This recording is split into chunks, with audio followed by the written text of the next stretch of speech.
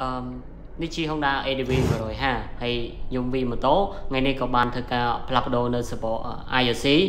នៅខាងមុខរបស់ Honda ADV ហើយសម្រាប់ Honda ADV នេះគឺសបកមុខវាគឺលេខ118 14ហើយសម្រាប់សបោ IRC នេះគឺល្អផលមែនទែនសម្រាប់ម៉ូតូបងប្អូន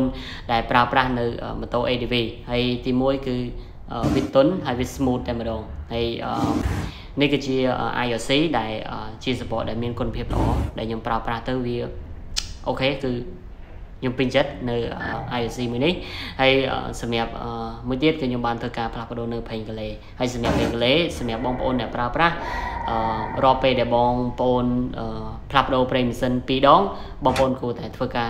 ផ្លាស់ប្ដូរនៅប្រេង Clay ម្ដងអូខេ